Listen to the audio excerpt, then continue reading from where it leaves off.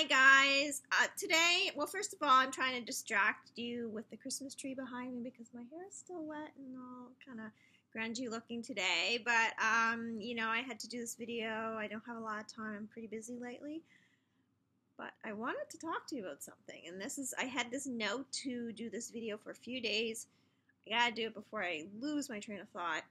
So I want to talk to you today about book covers why it's important to have a very sharp, eye catching book cover. You have to draw attention. Uh, my latest book cover uh, for The Devil and His Legacy, I wish I had it right now to show you because I, well, it hasn't arrived yet, but I would because it's very eye catching. There's a lion, he's very fiery, there's a lot of the, the colors are beautiful. Um, the people at my publisher who put these covers together did just an amazing job. Amazing job. And um, they always do. They always do. I like all my covers. I have some I like better. That's one of them. I have to admit, it's a little bit different from all my other covers, and I kind of contemplated if I should kind of go that route with an animal in the front, but it kind of makes sense because all my titles have an animal or a devil in the title, so it kind of brings things full circle. But anyway, so back to what I was originally going to talk to the broad subject of covers, not just a specific cover. I um wanted to talk about why a nice, sharp, cool, eye-catching, whatever you want to call it, cover is important. Now, it's important obviously because it catches attention. That's what you want to do. Um, people have a short attention span these days. I'm sure you probably noticed that. So it's even more important than ever before. But what do you need in the cover? What's important? Well, first of all, you need to really kind of create an image of what your book is about. Give an impression. So, a lot of my book covers, for example, the last few have a male character, usually in a suit and tie, looking very distinguished, that sort of thing. That represents my characters well they don't look like, even though they're criminals, they don't look like what you see on television as criminals. Although um, that's changed over the years. When I was growing up, a criminal looked like a bum, basically. Nowadays, criminals come in all shapes and sizes, as they do in real life, if you haven't noticed.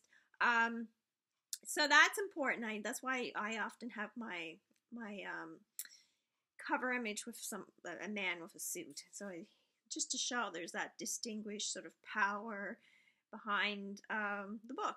And, you know, it's really, it should, uh, because people have made suggestions before and I've thought of different things. And when I was trying to come up with covers for various books, and it's just, you kind of have to go with your instincts. And you can't really go just with, it has to be something that grabs you and, and just it grabs your attention. It, there's just something feels right about it, but you have to consider your audience as well. So my characters, it depends on the book, of course, but my last few books, I try to keep it that the covers are appealing to male and female. Whereas maybe some of my earlier books with a female on the cover might kind of draw more attention to a female reader.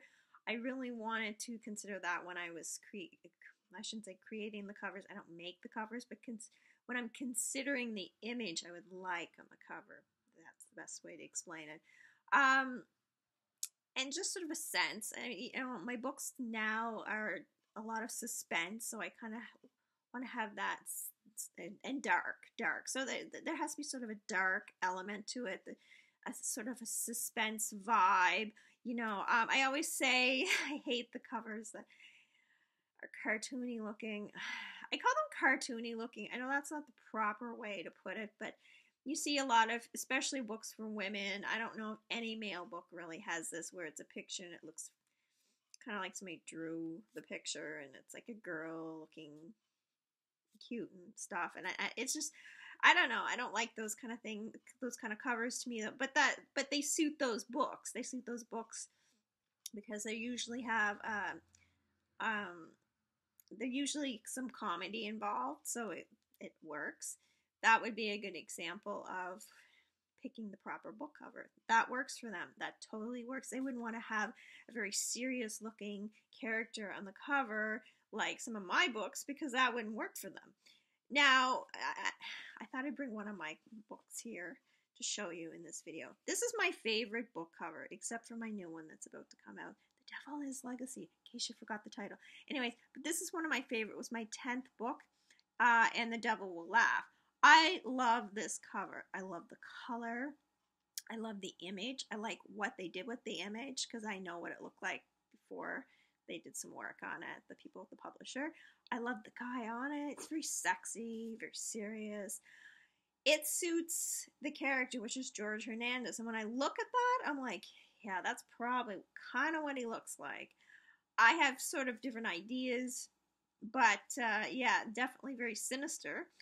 And so that was important, and that makes sense. It fits with my book.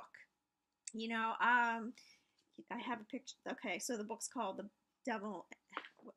And the Devil Will Laugh. Oh my god, I can't remember my freaking titles anymore. And the Devil Will Laugh. Well, if I had a cartoony devil on the front laughing, it would just look ridiculous.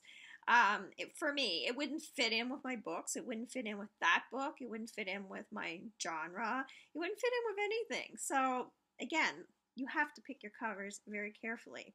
And if you don't believe me and you're not a book reader, don't love books, maybe I don't know why you're watching this, but you might be for whatever reason.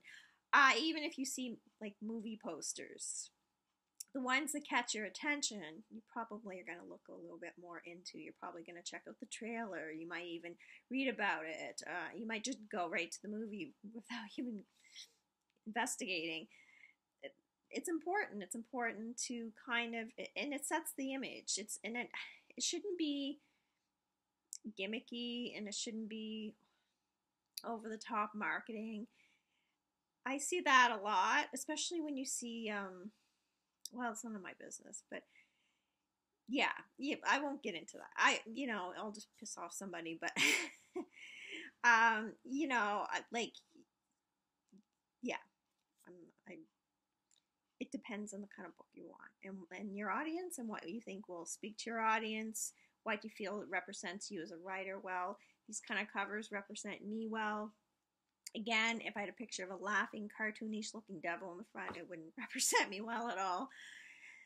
But, you know, what about you? Like, I'm always curious how many people look at the cover and decide whether or not they're going to read the book without even investigating is that something that people really look at? Is that, or is that a myth? Maybe I think that that's the case and it's not. I personally don't look at covers, but I read a lot of nonfiction. So I go by what the subject matter is, who wrote the book, why they're sort of an authority on it, how they write it.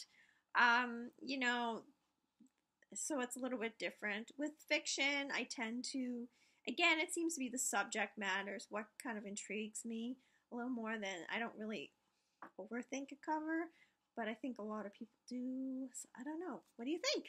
Anyways, guys, uh, would you mind liking this video? Maybe subscribing, hit the bell, get them sent to your email. Um, share. Thank you for your support. I really appreciate it and uh, enjoy my Christmas tree. It's not fully decorated, but there's some pretty lights. Have a great day, guys.